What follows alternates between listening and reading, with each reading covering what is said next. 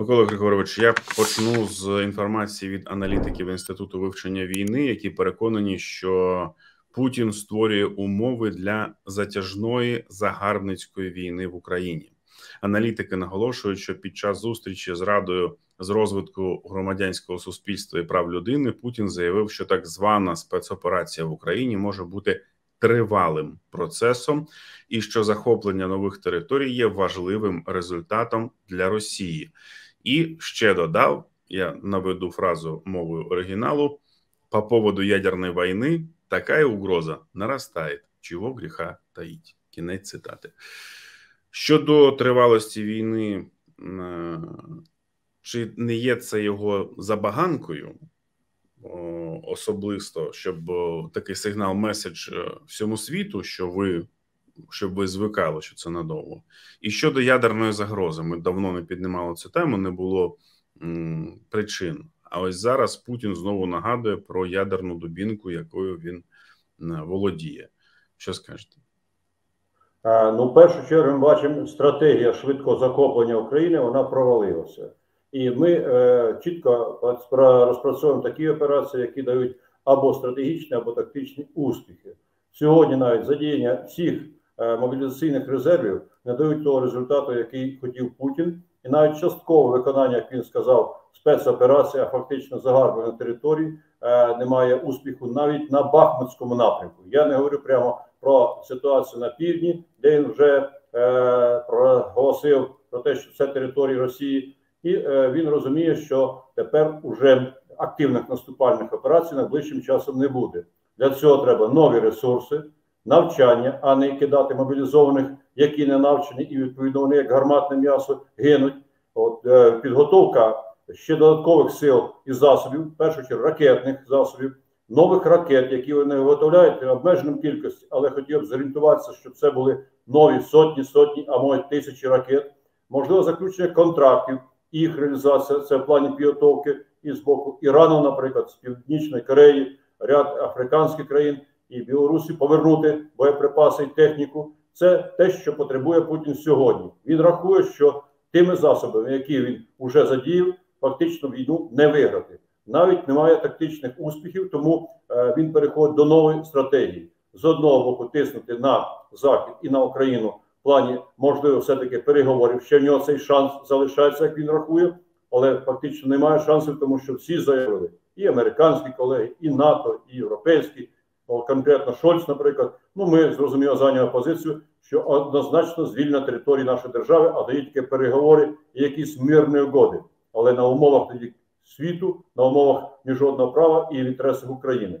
Тому сьогодні новий етап, і вчора він його проголосив це нова стратегія затяжної війни, е, накопичення резервів і десь, можливо, з весни е, літа нові наступальні операції вже більш глобального характеру.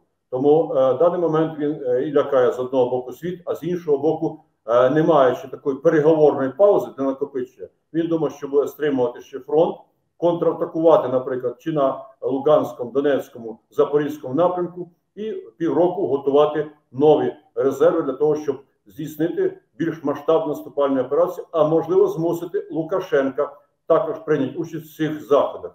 Тому сьогодні стратегія зрозуміла. Е, він е, іншого формату вже не бачить.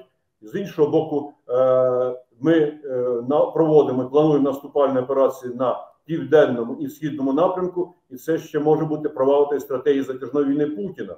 Він на всяк випадок орієнтується, що можуть бути ці операції успішними з нашого боку, аж до визволення, наприклад, не тільки Донбасу і Півдня України, а, наприклад, і Криму. Зокрема, тому вже попереджає, що в таких ситуаціях, коли є реальна загроза, начебто, вже масштабних наступів на Росію, як він вже вважає по, по цим територіям, і удари по території Росії, а це вже конкретні об'єкти, це і оційні так сказати, е, сегменти, і ракетні, і морські. От для цієї ситуації він вже загрожує знов ядерною зброєю. Але виходить з того, що вони не являються так сказати, не такими ненормальними, як він сказав, що вони застосують зброю, а тільки у випадку якихось реальних загроз Росії, це з одного боку контрудар наших партнерів ядерних країн на випадок того, що Путін готує удари, З іншого боку, це загроза, як вони казали, згідно Конституції Росії, суверенітету Російської Федерації.